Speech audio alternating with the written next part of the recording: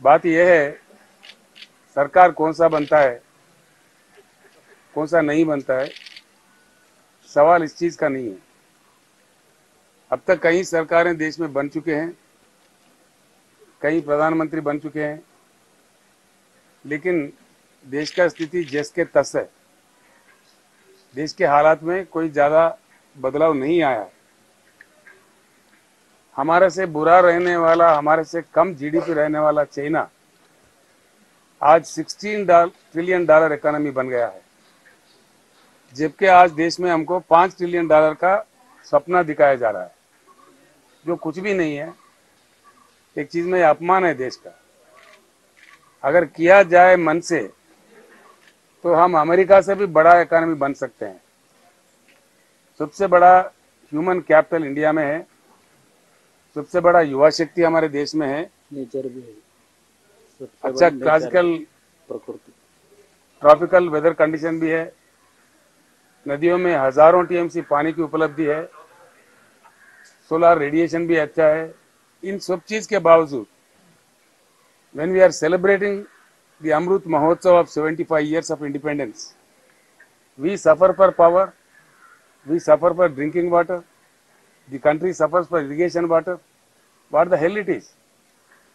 सरकार कांग्रेस का बनेगा, कांग्रेस के बिना बनेगा, बीजेपी का बनेगा, किसका बनेगा, ये बात नहीं है। एक उज्जवल हिंदुस्तान बनेगा इतना मैं कह सकता हूँ। उज्जवल हिंदुस्तान बनने का सारा प्रयास करना चाहिए। आप जर्नलिस्ट भाइयों से भी मेरा प्रार्थना है। आपको भी इसमें योगदान करना पड़ेगा। सुनिए सुनिए सुनिए सुनिए सुनिए ना।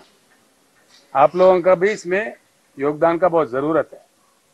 सेंसेशन को छोड़िए सेंसेशनल न्यूज़ को छोड़िए।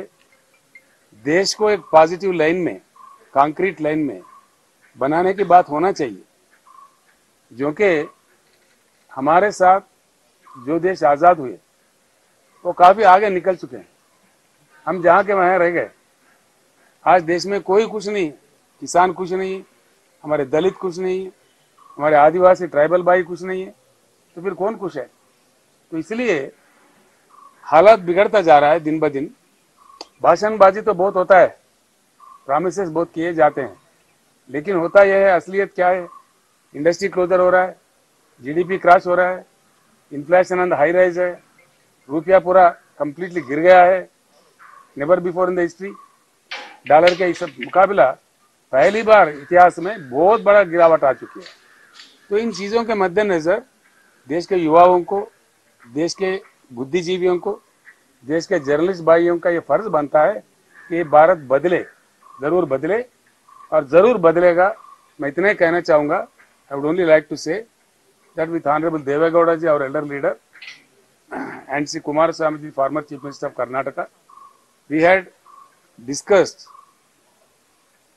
everything regarding the national politics regarding the Karnataka politics everything one thing I remind you all of my dear friends the other day when I was there before Karnataka elections last time I said I'll come back to the swearing ceremony of Mr. Kumaraswamy and my words were proved to be right and he became the chief minister.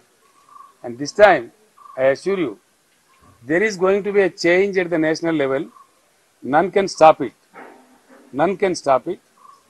बातें बहुत होते हैं ऐसी बात नहीं है लेकिन भारत बदलेगा भारत को बदलना चाहिए, परिवर्तित होना चाहिए, संभावित रूप का परिणाम लेना चाहिए।